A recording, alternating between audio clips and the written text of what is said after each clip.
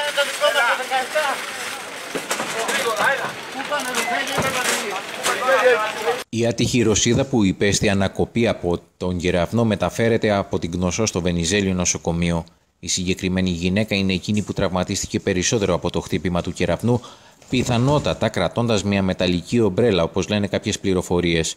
Λόγω της σοβαρότητας της κατάστασής της, μεταφέρθηκε στο Βενιζέλιο νοσοκομείο παρά το γεγονός ότι δεν εφημέρευε καθώς η ζωή της ήταν σε κίνδυνο. Όταν ήρθε η γυναίκα εδώ πέρα, βρισκόταν σε κατάσταση καρδιοαναπνευστικής ανακοπής. Το οποίο σημαίνει ότι δεν είχε καρδιακή και αναπνευστική λειτουργία, προφανώς απότοκο του ηλεκτρικούς σοκ που είχε υποστεί η καρδιά από τον κεραυνό. Έγινε διαδικασία αναζωογόνησης, η οποία κράτησε αρκετά, κράτησε γύρω στη μισή ώρα τριατέρτα, η οποία ήταν επιτυχής μεν.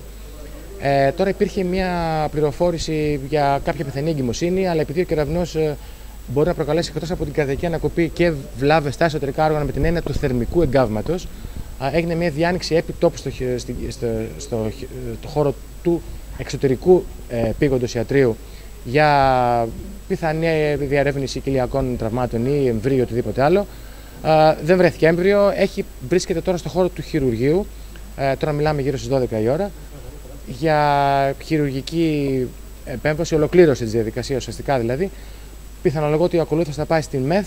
Η κατάστασή της νομίζω πως αυτή τη στιγμή χαρακτηρίζεται κρίσιμη και δεν μπορούμε να πούμε και την τελική έκβαση ακόμα. Στην Γνωσό, λίγο μετά τις 9 το πρωί, επικράτησε πανικός όταν ένας χεραυνό χτύπησε ένα πεύκο κάτω από το οποίο βρισκόταν ένα γκρουπ περίπου 30 Ρώσων τουριστών που προσπαθούσαν να προφυλαχτούν από τη βροχή, όπως περιγράφηκε η ξεναγός του γκρουπ. Χτύπησε κεραυνό δυστυχώς και ακριβώς πάνω στο γκρουπ μας και αρκετοί ε, πέσανε ε, δεν αισθανόταν τα πόδια τους.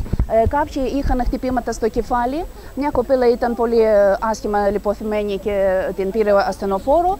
Ε, όλους τους υπόλοιπους τώρα μεταφέρουμε ή στο νοσοκομείο ή στο ξενοδοχείο αν δεν έχουν κανένα άλλο πρόβλημα. Αυτό. Ένα μπουμ και μια έτσι αστραπή και δεν καταλαβαίνεις εκείνη τη στιγμή τίποτα και απλά πέσαμε όλοι. Επικράτησε πανικός με περίπου 20 άτομα από το γκρουπ να πέφτουν στο έδαφος και αρκετοί από αυτούς να τραυματίζονται είτε από την πτώση τους, είτε από κομμάτια του δέντρου, είτε από την ηλεκτρική εκένωση. Τρομάξαμε βέβαια όλοι.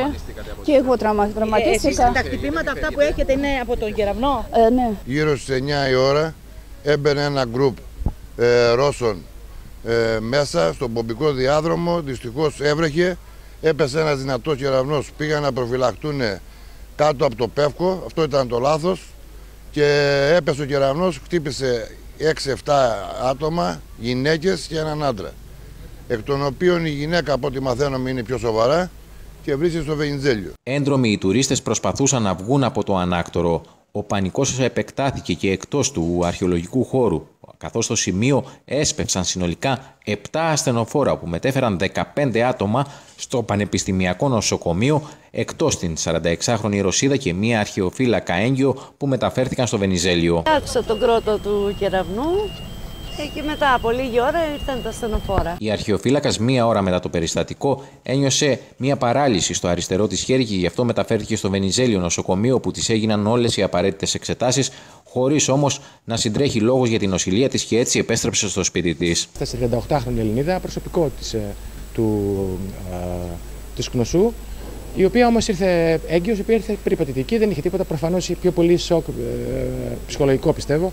Της έγινε καρδιογράφημα. Στο Πανεπιστημιακό Νοσοκομείο του Ηρακλείου, από τα 15 άτομα ανάμεσα τους και τρία μικρά παιδιά θα παραμείνουν για νοσηλεία τρία άτομα που έχουν υποστεί εγκάβματα. Είχαν και εγκάβματα πρώτο, δεύτερο βαθμό, οι τέσσερις που θα κάνουν εισαγωγή. Το παράδοξο είναι πως στον αρχαιολογικό χώρο της Κνωσού υπάρχουν συνολικά περίπου 50 λεξικέραυνα. Όμως ο κεραυνός χτύπησε το συγκεκριμένο δέντρο όπου είχαν βρει καταφύγιο από τη βροχή οι Ρώσοι τουρίστες. Λεξικέραυνα υπάρχουν παντού, δυστυχώς δεν υπάρχουν στα ε, δέντρα από πάνω που πήγαν να προφυλακτούν.